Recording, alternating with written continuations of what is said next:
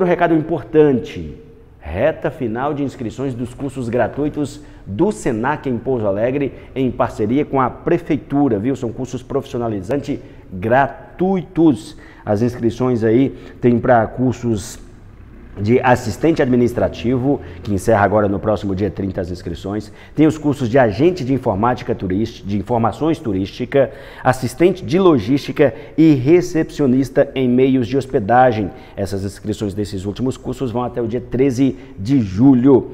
A pré-inscrição é, é, feita até no, no, na Secretaria de Políticas Sociais da Prefeitura.